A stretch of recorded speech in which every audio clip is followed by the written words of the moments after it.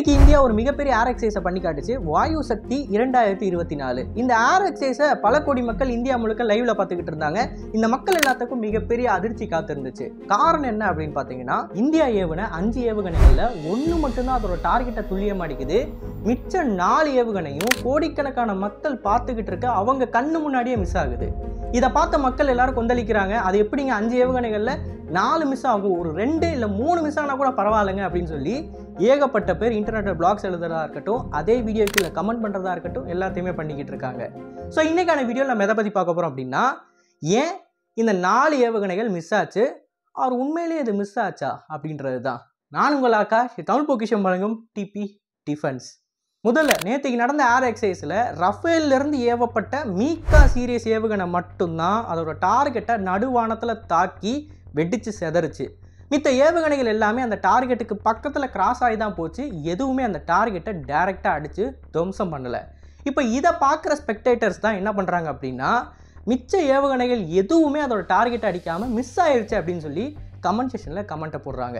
அது மட்டும் இல்லாமல் இவங்களோட முக்கியமான வாதம் என்னவாக இருக்குன்னு பார்த்தீங்கன்னா இந்த ஏவுகணைகளை டார்கெட் ப்ராக்டிஸ்க்கு பயன்படுத்தக்கூடிய அந்த டார்கெட் அதாவது அந்த ட்ரோன் இது என்னதான் சைஸில் சின்னதாக இருந்தாலும் இதோட ரேடார் கிராஸ் செக்ஷன் அப்படின்னு சொல்லக்கூடியது ஒரு ஃபைட்டர் போர் விமான அளவுக்கு பெருசாக இருக்கும். அந்த அளவுக்கு இதில் ரிஃப்ளெக்டிங் மெட்டீரியல்ஸ் போட்டிருப்பாங்க. ஸோ இந்த குறிப்பிட்ட ட்ரோனானது சைஸில் சிறுசாக இருக்குது அதனால் இந்த ஏவுகணைகள் டார்கெட்டை அடிக்காமல் பக்கத்தில் போகுது அப்படின்றத கமெண்டேட்டர் சொல்கிறது ஏற்றுக்க முடியாத ஒன்று இதை கூட தெரியாமல் கமெண்டேட்டர் சொல்கிறாங்களா இல்லை தப்பு நடந்ததை சமாளிக்கிறாங்களா அப்படின்னு சொல்லி இவங்களோட வாதமாக இருக்குது ஸோ இந்த வாதத்துக்கான என்னோட ஒரே பதில் அதாவது ஒரே வரியில் நான் சொல்லணும் அப்படின்னா அந்த நாலு ஏவுகணையை அந்த டார்கெட் அடிச்சிச்சு. துல்லியமாக அடிச்சிச்சு. அதுதான் என்னோடய பதில். இப்போ இதுக்கப்புறம் நான் எதை பற்றி பேச போகிறேன் அப்படின்னா அது ஏன்? இவங்க எல்லாரும் சொல்கிற மாதிரி டார்கெட்டை மிஸ் ஆனாலும் அந்த நாலு ஏவுகணைகளும் டார்கெட்டை அடிச்சிச்சு நான் ஏன் சொல்கிறேன்றது தான் தெளிவாக பார்க்க போகிறோம் முதல்ல ஒரு air to air missile air to surface missile இந்த ரெண்டுமே எப்படி வேலை செய்யுதுன்றதை நம்ம அடிப்படையில் புரிஞ்சுக்கணும். சிம்பிளாக உங்களுக்கு சொல்கிறேன் இந்த ஊர்கா பாட்டில் ஒரு ஃபைட்டர் ஜெட்டாக வச்சுக்கோங்க. இந்த ஏர்பாட்ஸை ஒரு இன்டர்செப்டார் மிசைலாக நினச்சிக்கோங்க. இந்த ஊர்கா பாட்டில் இந்த இன்டர்செப்டார் சாரி இந்த ஃபைட்டர் ஜெட்டை இந்த இன்டர்செப்டார் மிசைல் என்ன பண்ணணும் அப்படின்னா நடுவானத்தில் தாக்கி அழிக்கணும். ஆனால் அது நேரடியாக போய் இந்த ஃபைட்டர் ஜெட்டில் மோதுமா அப்படின்னு கேட்டிங்கன்னா கிடையாது. அப்படி மோதணும்னா இதில் துல்லியமான சீக்கர் வேணும். அப்படியே இதில் துல்லியமான சீக்கர் இருந்தாலும் ஃபைட்டர் ஜெட்டுன்றது பயங்கரமாக மென்யூர் பண்ணும். ஸோ நடுவானத்தில் அதை நேருக்கு நேராக மோதி இன்டர்செப்ட் பண்ணுறதுன்றது வாய்ப்பு இல்லை. மேபி ஏவேக்ஸையோ இல்லை டேங்கர் ஏர்கிராஃப்டையோ இன்டர்செப்ட் பண்ணலாம். பட் ஃபைட்டர் ஜெட்டாக வாய்ப்பு இல்லை. இதுக்கான சொல்யூஷன் என்ன அப்படின்னு பார்த்தீங்கன்னா விமானத்துக்கு பக்கத்தில் இந்த ஏவுகணை வந்தால் போதும். அப்படி பக்கத்தில் வந்த உடனே இந்த ஏவுகணையில் ஒரு ஃபியூஸ் ஒன்று இருக்கும். இந்த ஃபியூஸோட வேலையே ஏவுகணை விமானத்துக்கு பக்கத்தில் வந்துருச்சா அப்படின்றத டிடெக்ட் பண்ணுறது தான் ஒன்ஸ் இந்த ஃபியூஸுக்கு சிக்னல் கிடச்சிருச்சு அப்படின்னா உடனடியாக ஏவுகணை வெடித்து செதறும் அப்படி வெடிக்கிறப்ப இந்த ஏவுகணையிலேருந்து வெளியாகிற அந்த துகள்கள் போர் விமானத்துலேயோ இல்லை க்ரூஸ் மிசைல்லையோ பட்டு அதை டேமேஜ் பண்ணி நடுவானத்தில் வெடித்து செதறும் ரெண்டுமே. இதுதான் கான்செப்ட் இந்த கான்செப்ட் படி தான் உலகத்தில் இருக்கிற முக்காவாசி surface to air missile air to air air missile வேலை செஞ்சுக்கிட்டு இருக்கு. ஒரு சில எக்ஸம்ஷன்ஸ் இருக்குது இந்த பேட்ரியாட் மாதிரியானது அதெல்லாம் பார்த்தீங்கன்னா கைனட்டு கில் அதாவது ஹிட்டு கில் அப்படின்னு சொல்லுவாங்க. நேரடியாக டார்கெட்டை போய் மோதும். பட் அப்படி நேரடியாக மோத வைக்கிறதுனால போர் விமானங்களை நம்ம அவ்வளோ சீக்கிரம் அடித்து காலி பண்ணிட முடியாது. ஸோ மெஜாரிட்டி வேர்ல்டில் இருக்கிற எல்லாருமே போர் விமானங்களுக்கு எதிராக ஒரு ஏவுகணை பயன்படுத்துகிறாங்க அப்படின்னா அது இந்த மெத்தடை தான் ஃபாலோ பண்ணும். ப்ராக்சிமிட்டி ஃபியூஸை வச்சு தான் இயங்கும். இப்போ அந்த வீடியோவை கவனமாக பார்த்த எல்லாருக்குமே ஒரு விஷயம் புரியும். அந்த வீடியோவில் கமெண்டேட்டர் ஒரு விஷயத்த சொல்லுவார். இந்த ஏவுகணைகள் எதுலேயுமே ப்ராக்சிமிட்டி ஃபியூஸ் இல்லை. பொருத்தப்படலை. அப்படி பொருத்தப்படாத காரணத்தினால் இது எதுவுமே வெடிச்சு செதறாது. அதுக்கு மாறாக இந்த ஏவுகணைகள் அந்த டார்கெட்டுக்கு பக்கத்தில் போகிறத மட்டும் கவனிங்க. பக்கத்தில் போனாலே அந்த டார்கெட் அழிஞ்ச மாதிரி தான் சொல்லி கமெண்டேட்டர் தெளிவாக சொல்லிக்கிட்டு இருப்பாரு. ஆனால் அந்த கமெண்டேட்டர் இந்த டார்கெட்டுக்கு ஏவுகணை பக்கத்தில் போகுதான்றதை மட்டும் பாருங்கன்றத சொன்னார் இல்லையா? அதை நிறைய பேர் மிஸ் அண்டர்ஸ்டாண்ட் பண்ணி இப்போ இன்டர்நெட்டில் வீடியோஸாவோ இல்லைனா ஸ்டேட்மெண்ட்ஸாவோ கொடுத்துக்கிட்டு இருக்காங்க. இதை பற்றி இன்னும் டீட்டெயில்டாக நான் விளக்கணும் அப்படின்னா உங்களுக்கு கிளியரான ஒரு வீடியோ எக்ஸாம்பிளாக நான் காட்டுறேன். ஓகே இப்போ உங்களுக்கு முன்னாடி தூர்தர்ஷனோட அந்த லைவ் டெலிகாஸ்ட் வீடியோவே இருக்குது இதிலே நான் உங்களுக்கு தெளிவாக எக்ஸ்பிளைன் பண்ணி காட்டுறேன். இதை வந்து நீங்கள் கேமராவில் பார்க்குறப்ப சரியாக தெரியாது. அதனால் இந்த வீடியோ பார்த்து முடிச்சதுக்கப்புறமா தூர்தர்ஷனோட லைவில் போய் ஜீரோ பாயிண்ட் டூ ஃபைவ்ல வச்சுக்கோங்க. ஜீரோ பாயிண்ட் டூ ஃபைவ்ல வச்சுக்கிட்டு இதை கொஞ்சம் ஒத்து பார்த்தீங்க அப்படின்னா உங்களுக்கு தெளிவாக தெரியும். அந்த ஏவுகணை டார்கெட்டுக்கு எவ்வளோ பக்கத்தில் போகுது அப்படின்றது. முடிஞ்சால் உங்களுக்கு பாஸ் பண்ணி காட்டுறேன். ஆனால் கேமராவில் வந்து தெரிய மாட்டேங்குது. நேரில் தெரியுது பட் கேமராவில் தெரியல. ஓகே இந்த இடத்துல பார்த்தீங்க அப்படின்னா உங்களுக்கு அந்த மிசைலோட மெர்ஜ் ஆயிடுச்சு கிட்டத்தட்ட மெர்ஜ் ஆயிடுச்சு அவ்வளோ க்ளோஸாக வந்துருச்சு. ஸோ இது வந்து ஒரு சக்ஸஸ்ஃபுல்லான இன்டர்செப்ஷன் இந்த இடத்துல ப்ராக்சிமிட்டி ஃபியூஸ் மட்டும் இருந்துருச்சு அப்படின்னா இந்த டார்கெட் வந்து நடுவானத்தில் விட்டுச்சு செதறி இருக்கும். எப்படி மீக்கா ஏவுகணை இதை அடிச்சிச்சோ அதே மாதிரி. ஆனால் ப்ராக்சிமிட்டி ஃபியூஸ் இல்லை அப்படின்றதுனால இது பக்கத்தில் வந்துட்டு இதை தாண்டி போயிடுது அந்த ஏர்டேர் மிசைலு இதுதான் நடந்திருக்கு. இப்போது கமெண்டேட்டர் வந்து இதோட சைஸ் சின்னதாக இருக்குன்னு சொல்லியிருப்பார் இல்லையா? அந்த பிரச்சனைக்கு வருவோம்.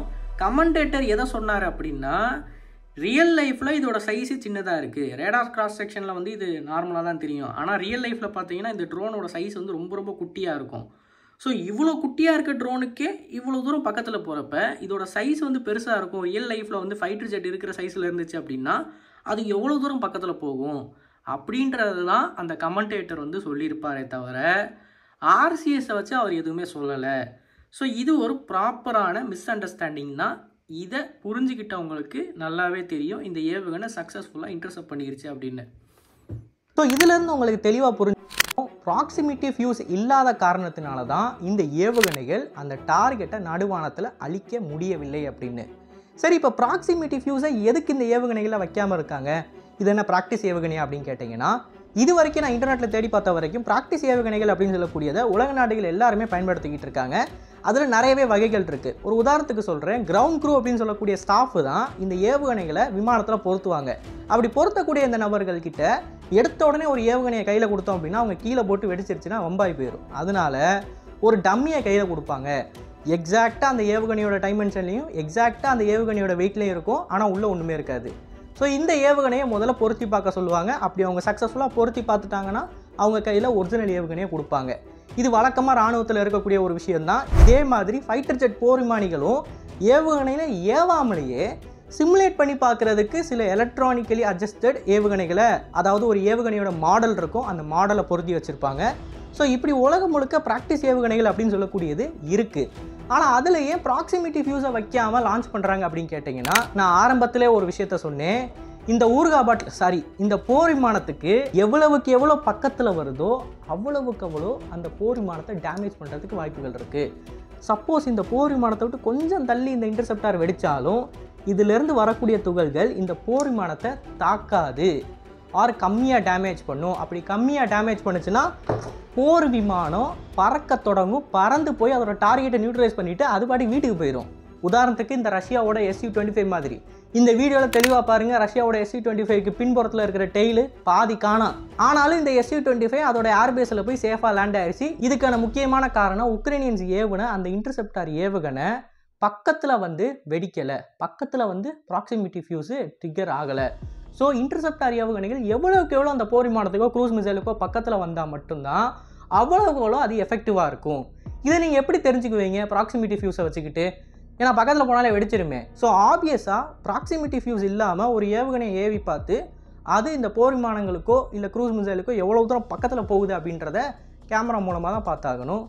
ஸோ அதுபடி தான் இந்த ரஷ்ய ஏவுகணைகளும் இந்தியாவால் நம்ம தயாரிக்கப்பட்ட இந்த ஆகாஷ் ஏவுகணைகள்லையும் ப்ராக்சிமிட்டி ஃபியூஸை பொருத்தாமல் ஸ்பெக்டேட்டர்ஸுக்கு அங்கே இருக்கக்கூடிய இராணுவ வீரர்களுக்கு இந்த ஏவுகணையோட பெர்ஃபார்மன்ஸ் எப்படி இருக்குன்றத அந்த டார்கெட்டை நோக்கி எவ்வளோ தூரம் பக்கத்தில் போகுதுன்றத கிளியராக போட்டு காமிக்கிறது மூலமாக தெரிவிச்சிருக்காங்க. இப்போ இது பேசிக்காக ஒரு மிஸ் அண்டர்ஸ்டாண்டிங் அண்ட் ஏன் இந்த ரஃபேல் விமானத்தில் இருக்கிற மீக்காவில் மட்டும் அப்போ ப்ராக்சிமிட்டி ஃபியூஸ் இருக்குது அப்படின்னு நீங்கள் கேட்டிங்கன்னா மீக்கா அப்படின்னு சொல்லக்கூடியது முழுக்க முழுக்க இம்போர்ட் பண்ணக்கூடிய ஒரு ஏர் டு ஏர் மிசைலு ரஷ்யாவோட ஆர் செவன்டி த்ரீயும் இம்போர்ட் பண்ணக்கூடியது தான். ஆனால் ஆர் செவன்டி த்ரீயை நம்ம உள்நாட்டில் உருவாக்குறதுக்கு இரண்டாயிரத்தி இருபதாவது வருஷமே ட்ரை பண்ண ஆரம்பிச்சிட்டோம். எனக்கு தெரிஞ்சு இப்போதைக்கு உள்நாட்டை சில ஏவுகணைகளை உருவாக்கிக்கிட்டு இருக்கோம் அப்படின்னு தான் நினைக்கிறேன். ஸோ அப்படி இருக்கிறப்ப ரஷ்யன்ஸோட உதவியால் நம்ம இந்த மிசைல்ஸை சில மாடிஃபிகேஷன்ஸை பண்ண முடியும். அதில் இருக்க ப்ராக்சிமிட்டி ஃபியூஸை ரிமூவ் பண்ண முடியும். ஆனால் ஃப்ரான்ஸ் கிட்டேருந்து வாங்குற அந்த மீக்கா ரக ஏவுகணைகள் கம்மியாக தான் நம்ம பயன்படுத்திக்கிட்டு இருக்கோம். ஏன்னா அதை மிராஜில் மட்டும்தான் பொருத்த முடியும். மிராஜே நம்ம கம்மியாக தான் இருக்குது அதுக்கப்புறமா ரஃபேல் இருக்குது ஸோ கம்மியாக இருக்கக்கூடிய அந்த மீக்கா ஏவுகணைகளை நம்மளால் மாடிஃபை பண்ண முடியல. ஸோ அதில் ப்ராக்சிமிட்டி ஃபியூஸை வச்சு தான் நம்ம லான்ச் பண்ண முடிஞ்சிச்சு. இந்த ஆர் செவன்டி த்ரீ அப்படி கிடையாது. அதை நம்ம சம்மர்னு சொல்லி ஒரு ஏர் டிஃபென்ஸ் சிஸ்டமில் இன்டெக்ட் பண்ணியிருக்கோம் அப்படின்னா எந்த அளவுக்கு அதில் மாடிஃபிகேஷன் இருக்குன்னு பார்த்துக்கோங்க. ஸோ அதனால தான் சம்மர்லேயும் அதாவது சம்மரில் இருக்கக்கூடிய ஆர் செவன்டி த்ரீலையும் தேஜஸ்லேருந்து ஏவப்பட்ட ஆர் செவன்டி த்ரீலையும் நம்மளோட ஆகாஷ் ஏர் சிஸ்டமில் இருக்கக்கூடிய அந்த இன்டர்செப்டார்லையும் ப்ராக்சிமிட்டி ஃபியூஸ் இல்லை. இதை நான் இன்னொரு தடவை திருப்பி உறுதி செஞ்சேன். போன வருஷம் ஸ்கைவால் அப்படின்னு சொல்லக்கூடிய ஒரு யூடியூப் சேனலில் இந்த ஆகாஷ் ஆடுவன் சிஸ்டமை ஏவுனா ஒரு ஃபுட்டேஜ் ஒன்று இருக்குது அந்த ஃபுட்டேஜை நான் பார்க்குறப்ப அதில் தெளிவாக மென்ஷன் பண்ணியிருப்பாங்க. இப்போ இந்த ஆகாஷ் ஆடுவன் சிஸ்டம் ஏவுகணையில் ப்ராக்சிமிட்டி ஃபியூஸை பொருத்தி தான் ஏவி இருக்கும் அப்படின்னு அந்த வீடியோவோட கடைசியில் சொல்லுவாங்க. அஃப்கோர்ஸ் அதை ஹிந்தியில் சொல்லுவாங்க. எனக்கு ஹிந்தி தெரியாது.